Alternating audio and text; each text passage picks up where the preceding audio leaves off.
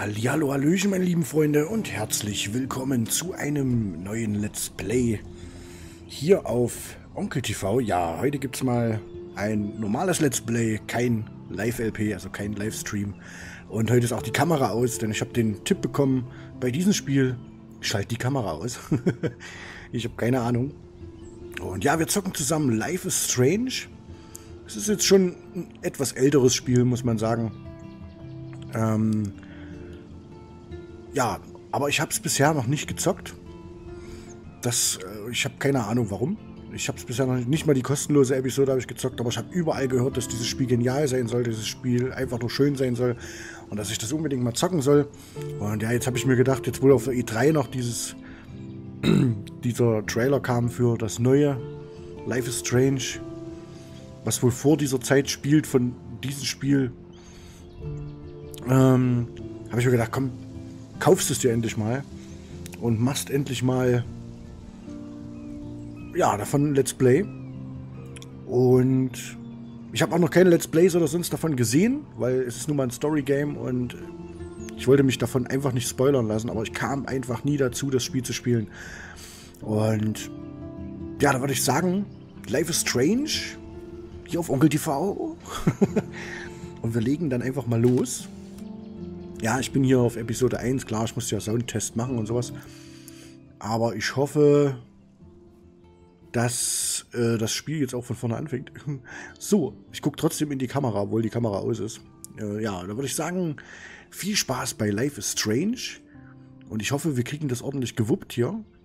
Und ich hoffe, ja, wir haben ein schönes Spielerlebnis zusammen.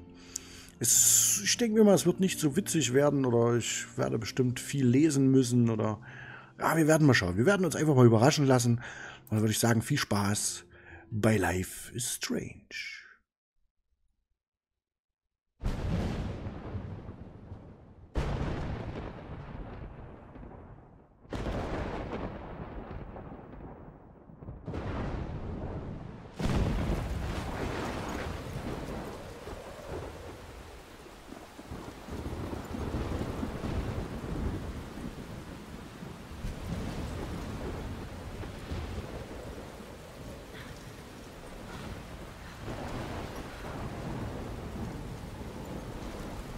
Am I?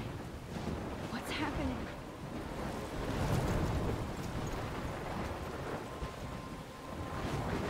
I'm trapped in a storm? How did I get here? And where is here?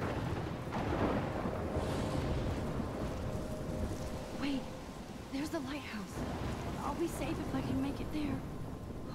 I hope. Please let me make it there. Ja, okay, da geht's auch schon los. Oh, wir gucken uns natürlich erstmal kurz um hier. Ich hab. Ja, wir schauen einfach mal. Wir müssen zum Leuchtturm. Ich, ähm, ja, keine Ahnung, was hier ist. Warum, wieso, weshalb, was, wie. Schauen wir mal. Wer, äh, ja, aber sowas finde ich immer gut. Wenn man nicht weiß, wer man ist und das alles so nach und nach selbst rausfindet. Ich hoffe, das Spiel ist auch so aufgebaut. Wir werden es sehen, wir werden es sehen. Ich gucke immer noch in die Kamera. Was haben wir denn hier? Einen Ziegelstein. Und hier haben wir eine kleine Map. Kann ich hier irgendwie ranzoomen oder sowas? Nee. Schön, wir haben hier einen Leuchtturm. Oh, da oben haben wir einen Totenkopf links. Hm. Das ist links neben dem Leuchtturm. Das wäre da hinten, aber das ist doch mehr. Wie, was? Nee, dann wäre das ja... Warte mal, hier ist der Leuchtturm, dann wäre das ja hier irgendwo. Da wäre irgendwo dieser tote Totenschädel da. Kann das sein? Ah, egal, wir sollte mal na, einfach jetzt mal nicht so drüber rum, drumrum überlegen, sondern einfach mal weiterlaufen. Ja, ziemlich stürmisch hier. Upsala, jetzt hab ich mich hier... Oh, natürlich. Oh, alter Schwede.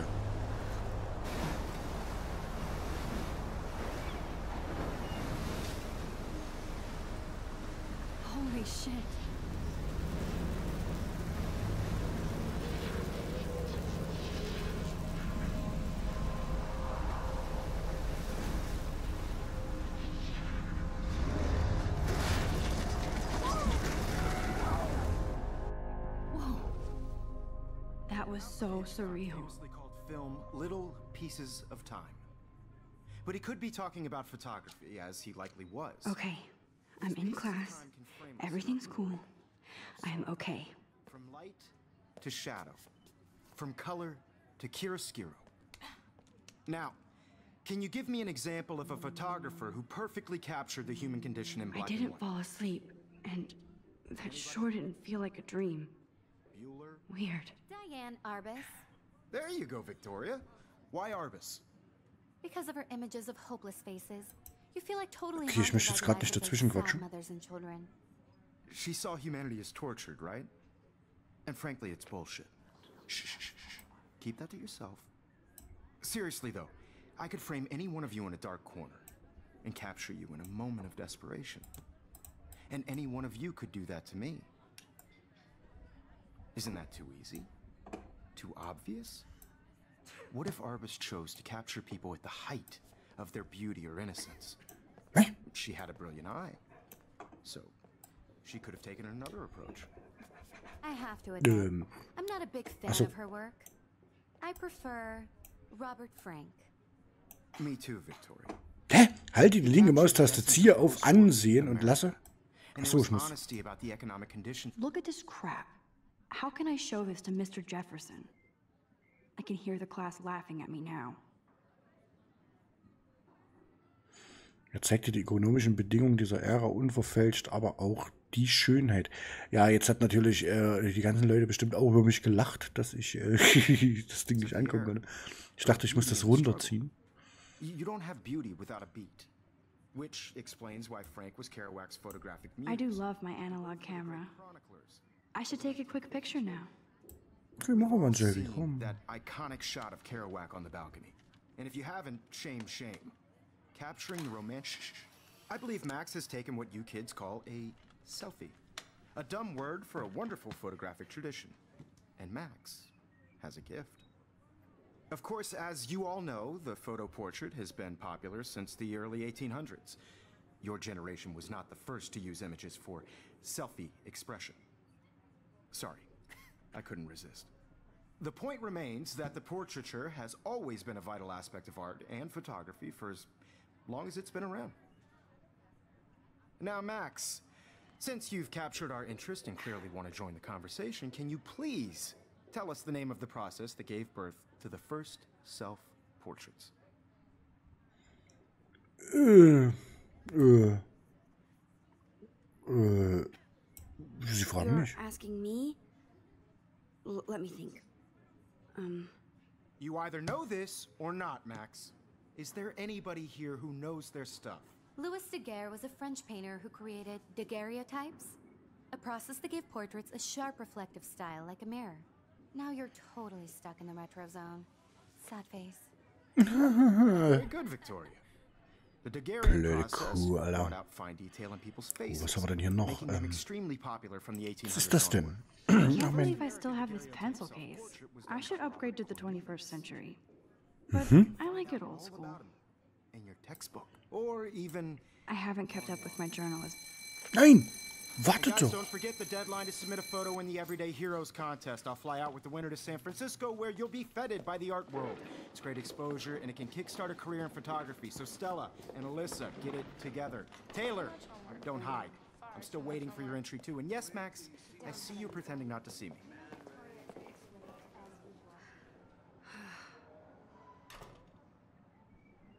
Äh, ich hätte das jetzt aber gern noch gelesen. Kann ich das jetzt noch irgendwo? 1. Oktober. Oktober, mein Lieblingsmonat. Das beste Wetter des Jahres. Ich liebe den Farbwechsel der Blätter und wie sie zu kleinen Flammen werden. Es ist immer noch zu heiß. Danke, globale Erwärmung. Und ich kann Pullover und Gruselfilme noch nicht auspacken. Bald. Kate hat mir The October Country von Ray Barbary geliehen. Ich kenne nicht viel von ihm. Warren hätte mir deswegen fast meinen Geek-Titel an- aberkannt. Battle Royale war meine Rettung.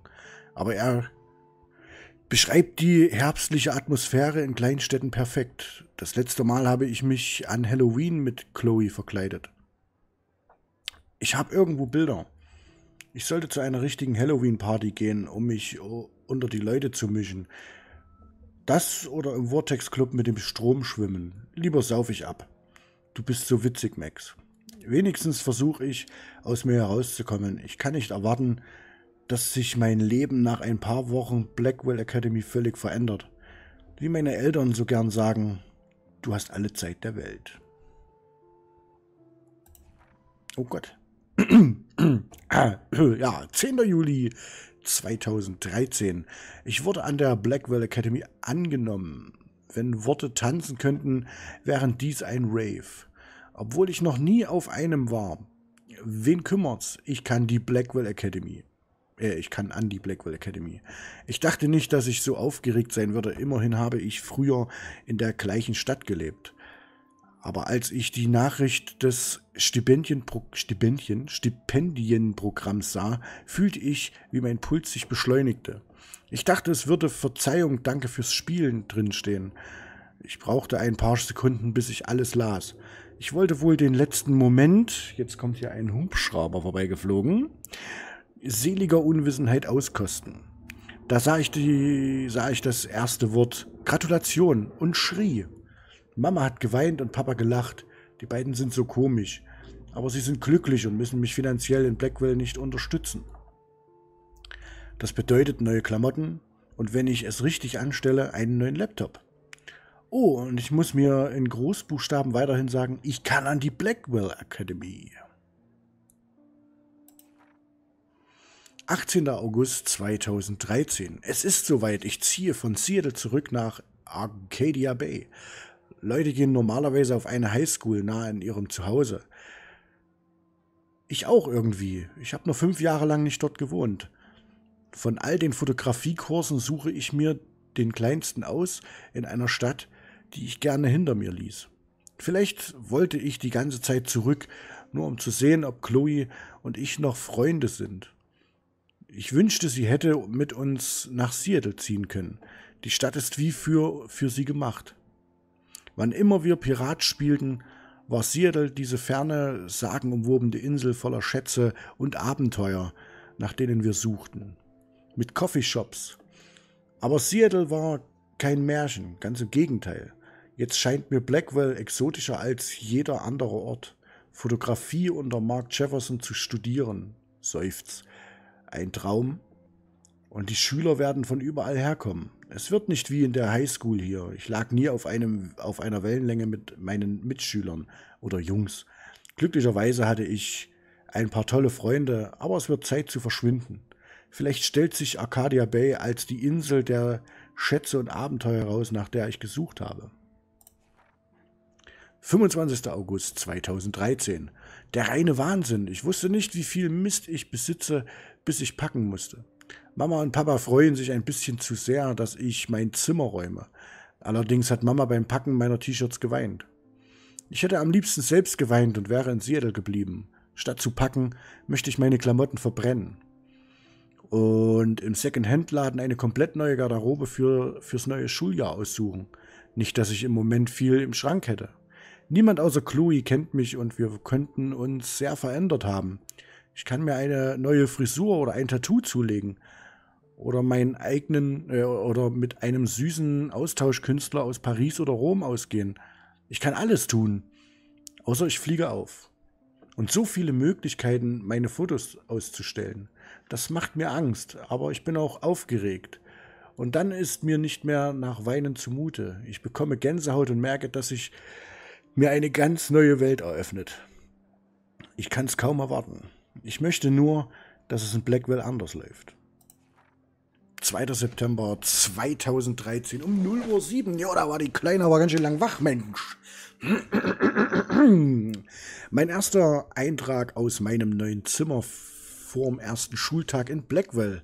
Puh, ich hatte keine Zeit zu schreiben oder Fotos zu machen, seitdem ich hier ankam. Mein Krempel in den Kisten im ganzen Zimmer, das klein, aber mein ist. Verteilt. Ich will hier nie weg. Ich will dekorieren dekorieren vor allen Dingen. Ich will eine ganze Wand voll voller Fotos. Ich habe ein paar meiner Mitbewohner getroffen, kann mir aber keinen Namen merken. Was soll's. Ich kann aber schon sehen, wer cool ist und wer nicht. Es ist ätzend, sich in einem neuen Umfeld zurechtzufinden, wenn ich gerade gute Freunde in Seattle gefunden habe. Ab jetzt bin ich hier und mein neues Leben beginnt. Gute Nacht. 3. September 2013. Ja, ordentlich Lesestoff hier. Noch vier Seiten, Freunde. Ja, der erste Part wird wahrscheinlich ein Lesepart. 3. September 2013. Blackwell ist scheiße. Ich hatte vor, nicht. Ich hatte vor, nicht zu früh rumzuheulen, aber verdammt, der Tag begann wie Weihnachten. Kaum geträumt, geträumt vor, vor Aufregung. Mein Gott, den ersten Tag meines neuen Lebens zu beginnen. Ich Dussel wusste nicht, was ich anziehen sollte und nahm einfach, was, ich auf dem was auf dem Boden lag. Ich kann mir keine Namen und Gesichter merken, aber hängen geblieben sind Kate, Brooke, Taylor, Alicia. Und wie könnte ich Victoria Chase vergessen? Reich, stylisch, verwöhnt. Ich konnte ihre Verachtung spüren, als sie meine schäbigen Sachen sah, als sei ich für eine Modenschau nach Blackwell gekommen. Vielleicht bin ich ja hypersensibel, aber ich glaube, Victoria sieht das Leben als ihre Reality-Show. Work. Work. Work. Okay, das war schon wegen meinem sozialen. Was? Das war schon wegen meinem sozialen Unbehagen nicht lustig. Ich dachte wieder, hier zu sein wäre einfacher. Wehe, Max. Es war unglaublich, im Morgendunst über den grünen Campus zu laufen. Ich liebe die Steinstufen und Backsteinmauern. Alles wartet nur darauf, fotografiert zu werden. Apropos, eine gute Sache ist heute noch passiert. Jeffersons Fotografieunterricht, seufzt. Es gibt noch mehr zu erzählen, doch ich bin erledigt. Verzeih mir, Tagebuch. 4. September. Hab jetzt schon massig Hausaufgaben. Scheiße. Gibt uns doch einen Tag zum Eingewöhnen, aber als Beweis, dass ich kein totaler Loser bin, habe ich in Naturwissenschaften einen neuen Freund gefunden. Sein Name ist Warren Graham und er ist ein echter Creek, äh, ein echter Geek, düster und witzig. Er ist ein Besserwisser, weiß aber auch echt viel. Wir haben über Fotografen geredet und er nannte tatsächlich einige, die mir unbekannt waren. Wir haben Nummern ausgetauscht und er wird ein guter Studienpartner sein oder ein guter Freund. Ich brauche mindestens einen, so wie es mir in der Klick, wie es hier mit Klicken aussieht. Ich dachte, mit 18 müssten mich Teenager-Dramen Drama nicht mehr kümmern. Falsch. Wenigstens kann ich als Hausaufgabe berühmt, berühmte Fotografen recherchieren. Jefferson hat uns viel zum Lesen aufgetragen, aber genau das will ich auch lernen. Es ist super cool und super entspannt. Er versucht nicht hip zu sein, sondern sagt, was er denkt und erwartet das Gleiche von uns. Er ist ein Genie. Ich will ihn heiraten. Scherz. Dieser dieses eine Fach ist die ganze soziale Störung wert. 15. September. Die Hausaufgaben machen mich fertig. Die Lehrer verteilen wohl schlechte Noten, damit man sich nicht besonders fühlt. Aber Victoria und ihr Trupp tun so, als seien sie geehrte Gäste Blackwells. Die Jungs sind nicht besser. Nathan Prescott ist Victorias männlicher Klon, noch reicher und eingebildeter, und das überhaupt, äh, wenn das überhaupt geht. Seine Familie ist die älteste in Arcadia Bay und schon als Kind habe ich Geschichten über sie gehört. Die Prescotts haben krass viel Geld in Blackwell investiert. Also tut Nathan, als gehöre ihm die Schule. Gestern hat er im Unterricht die Füße auf den Tisch gelegt, getextet und der Lehrer hat nichts gesagt. Ich wäre suspendiert worden. Aber er und Victoria gehören zu diesem doofen, elitären Vortex-Club, der tolle Feten schmeißt, also kommen sie damit durch. Lang lebe der König und die Königin. Ich will nicht alle, alles mies machen. Ich mag Kate Marsh. Sie wohnt auch hier und äh, ist in einem meiner Kurse. Sie ist so hübsch und lieb und nett. Das macht sie viel hübscher als Miststücke wie Victoria, die glauben, dein Gesicht und Outfit ist alles, was zählt. Ihr Drama hat mich bereits angesteckt. Schluss damit. 23. September. Puh, heute konnte ich mich endlich auf dem Campus umsehen. Perfekter, klarer Himmel. Ich vergesse immer, wie gut ich mich dabei fühle, nach dem faulenzen Bilder zu schießen. Apropos Bilder. Jefferson möchte, dass wir alle an dem nationalen Fotowettbewerb Helden des Alltags teilnehmen. Dem Sieger winkt eine Reise nach San Francisco und viel Aufmerksamkeit. Jeder Schüler soll nur ein Foto erreichen. Genau deswegen bin ich nach Blackwell gekommen und natürlich schiebe ich Panik. Wenigstens sind es noch ein paar Wochen bis zum Abgabetermin im Oktober. Noch viel Zeit zum Stressen und Abschieben, seufzt. 30. September. Ich weiß nicht, ob es, ob ich, ja, ich weiß nicht, ob ich es hier hasse oder liebe. Ich versuche in Naturwissenschaften mitzuhalten. Als ob ich mich jucken würde, als ob es mich jucken würde, ob ich irgendwas wüsste. Zum Glück gibt es Warren, wenn er nur als Klon meinen Platz einnehmen könnte. Miss Grant ist viel cooler als die Klasse. Sie erklärt Teilchenphysik so, dass selbst ein Holzkopf wie ich es ein wenig versteht. Ich mag es, wie sie Gesellschaft und Wissenschaft verbindet. Sie geht das Leben engagiert und passioniert an. Anders als einige andere hier, aber ich versuche, mehr teilzunehmen, auch wenn es bedeutet, Fragen zu stellen, statt sich zu verstecken. Ich bin froh, nicht ein, der einzige Sonderling hier zu sein. Welche Hausaufgaben weiche ich heute aus? 1. Oktober. Oktober, mein Lieblingsmonat. Hä, das war doch jetzt das letzte. Oktober, mein Lieblingsmonat des Jahres. Ich liebe den Farbwechsel, bla bla bla bla bla. Okay, das hätten wir jetzt äh, mal lieber nach der Reihe lesen sollen, aber ich wusste ja nicht, dass das. Ich, ich habe die Seiten da unten zuerst gesehen. Aber dann, dann äh, soll ich es nochmal vorlesen? Komm. 1. Oktober. Oktober, mein Lieblingsmonat, die beste das beste Wetter des Jahres. Ich liebe den Farbwechsel der Blätter und wie sie zu kleinen Flammen werden. Es ist immer noch zu heiß, danke globaler Werbung. Und ich kann Pullover und Gruselfilme noch nicht auspacken. Bald, Kate hat mir The October Country von Ray Bradoni geliehen. Ich kenne nicht viel von ihm. Warren hatte mir deswegen fast meinen Geek-Titel abgekannt. Battle Royale war meine Rettung. Aber er beschreibt die herbstliche Atmosphäre in Kleinstädten perfekt. Das letzte Mal habe ich mich äh, an Halloween mit Chloe verkleidet. Ich habe irgendwo Bilder. Ich sollte zu einer richtigen Halloween-Party gehen, um mich mit Leuten zu mischen, äh, unter die Leute zu mischen. Das oder im Vortex Club mit dem Strom schwimmen. Lieber sauf ich ab. Du bist so witzig, Max. Wenigstens versuche ich mich aus mir herauszukommen. Ich kann nicht erwarten, dass sich mein Leben nach ein paar Wochen Blackwell Academy völlig verändert. Wie meine Eltern so gern sagen, du hast alle Zeit der Welt. So, das habe ich jetzt extra nochmal vorgelesen, um die Reihenfolge zu vervollständigen. Ich glaube, das war ja jetzt gut, ne? So, okay, was haben wir denn hier? Wir haben, Leute, Max. Mein Name ist Mac Caulfield. Und schon als kleines Kind wusste ich, dass ich Fotografin werden wollte. Ich habe die Welt immer durch mein Objektiv betrachtet. So bin ich Teil dieser Welt, aber aus sicherer Entfernung.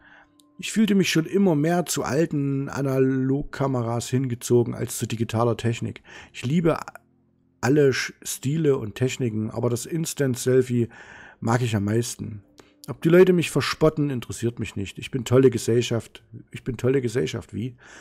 Und jetzt bin ich in der Heimat meiner Kindheit zurückgekehrt und Fotografie an, um Fotografie an der Blackwell Academy zu studieren. Sogar mit Stipendium. Ich ließ Chloe, meine auf ewig beste Freundin, bis ich wegzog und mich fünf Jahre nicht meldete, zurück. Und es ist so komisch hier zu sein und sie noch nicht gesehen zu haben. Ich bin jetzt 18 und offiziell erwachsen, fühle mich aber seltenerweise, selten weise oder reif. Ich bin bereit, ein ganz neues Leben mit der Retro-Kamera an meiner Seite zu beginnen. Bitte lächeln. Ja.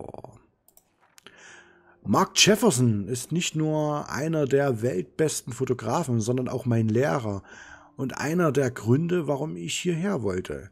Wie oft wird man schon von einer Inspiration betreut? Ich mochte seinen Art Deco und Goth Style Stil schon immer und seine Arbeit in der Werbung ist so vielseitig. Jefferson kann aber, Jefferson, Jefferson kann aber auch herablassend sein. Er ist recht cool für sein Alter, aber auch distanziert und manchmal überheblich. Er lächelt zu selbstgefällig, wenn er glaubt, Recht zu haben. Ich glaube, er will uns darauf vorbereiten, wie hart es in Vollzeitkünstler zu wie hart es ist, ein Vollkleid, Vollkleid, Vollzeitkünstler zu sein. Mein Gott, kriege ich es heute noch raus. Er scheint meine Arbeit und Obsession mit Analogbildern zu verstehen. Äh, er will wirklich, dass ich ein Foto für diesen Helden des Alltagswettbewerbs erreiche. Aber bis jetzt konnte ich's verhindern. Der Gewinner fliegt nach San Francisco, Francisco, San Francisco, Onkel, nicht San Francisco, San Francisco, um Blackwell zu repräsentieren und national bekannt, oh, na, ach, was ist los? National bekannt zu werden. um national bekannt zu werden.